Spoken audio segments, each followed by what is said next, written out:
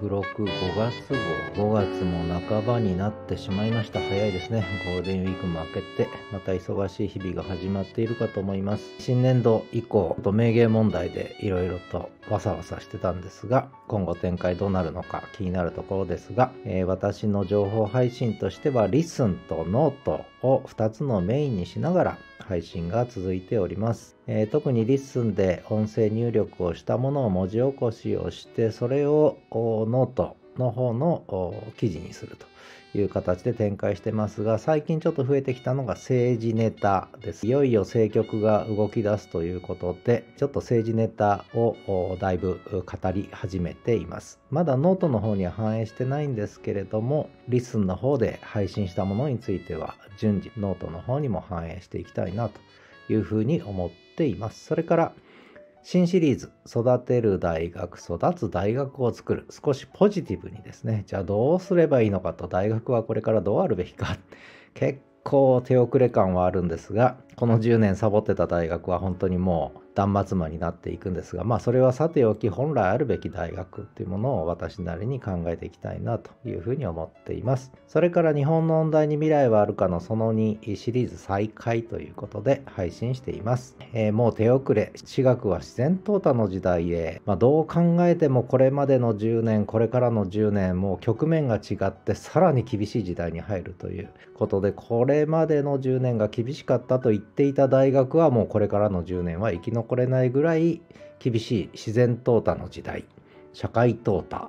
競争による淘汰ではなく自然に淘汰される時代。競争に勝っても淘汰されてしまうかもしれない。そういう時代に入ってきたという話でこれ一応シリーズ完結しましたのでノートレッドにまとめたいと思ってます。それからオンデマンド教育が日本の私学を救う。これについてもその4配信してこれでひとまとまりになりましたのでノートレッドとしてまとめたいと思います。それから私が最近かなりメインで使っている LISTEN。ここはあの思考を深める意味でも非常に使いやすいし文字起こしが本当に精度よくできるっていうのがもう最大のメリットなんですがそれだけじゃなくて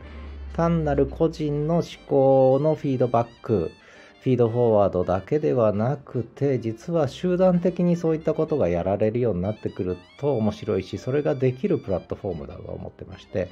むしろノートよりもそういったことができるのではないかという気もしています。でとりあえずこの LISTENとそしてノートとのこう連携でさらにちょっと今ブログですね、えー、もう絡めながらちょっと立体的に情報発信をするようにしているつもりです。まあ、そんな形で LISTENの使い道、 LISTENの良いところその3ですね。これも配信をさせていただきました。これまでの LISTENの良いところ1、2と合わせて、ぜひ読んだり聞いたりしていただけると、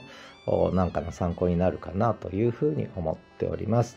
ということで北海道札幌も今年は雪解けが早くて春の訪れが早くてもしかしたら長くて暑い夏が来るのかなとちょっとドキドキしてるんですが、えー、皆様健康にくれぐれも注意して快適に過ごしていただければと思います。本州はこれから梅雨もやってくるかと思います。北海道は梅雨がなくて爽やかですので、